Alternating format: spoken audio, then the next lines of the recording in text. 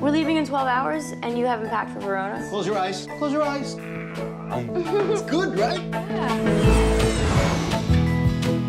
Verona, Italy, where Romeo first met Juliet. Sophia! Buona fornata, my sweet Sophia! There is a place where the heartbroken leave notes, asking Juliet for her help.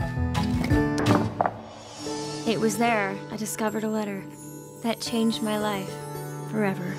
I didn't go to Lorenzo, Juliet. I promised I'd meet him to run away together, but instead, I left him waiting for me. Please, Juliet, tell me what I should do. Love, Claire. It was written in 1957. I have to write back. May I ask which one of you wrote this letter to my grandmother? I wrote that. What were you thinking? She deserved an answer. Uh, excuse me, Claire? Hi, my name is Sophie. Juliet. So you've come to find your Lorenzo. Yes. Of course, a card or letter is just too simple. May I come with you? Yes, of course.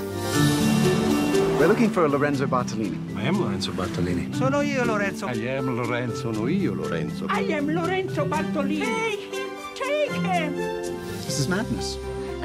Charlie doesn't approve, which makes this all the more fun. What you're doing for Claire, it's sweet. It's just that I'm genuinely worried for her. I need more time with her. This Is this in a good time because I'm in the middle of something? It's not supposed to be that way. We're supposed to want to be with each other all the time. So isn't your fiance starting to get just a tad lonely? I doubt he even notices that I'm gone. Do you think he's still out there? Lorenzo? Yeah.